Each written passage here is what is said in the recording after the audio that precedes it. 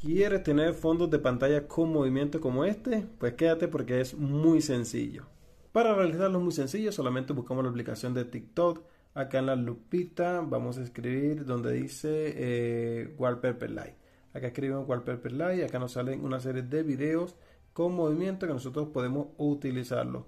Como ejemplo vamos a tomar este que está por acá, le damos en compartir, acá abajo seleccionamos la opción que dice usar como fondo de pantalla Esperamos que se cargue como tal el video. Y una vez cargado vamos a seleccionar en la parte inferior donde dice usar como fondo de pantalla. Le damos clic, esperamos que cargue, le ponemos definir como fondo, seleccionamos pantalla de inicio o de bloqueo, de inicio en este caso, y listo, ya quedaría puesto.